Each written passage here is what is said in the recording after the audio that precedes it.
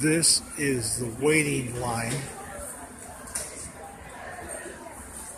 for uh, the government to check you out. It took 20 minutes to get to this point. It's probably another 20 minutes ahead to get out. Next time, wait to the last minute when they kick you off the ship and then come down. And it won't be this hassle. This is going to be at least an hour to get out of here.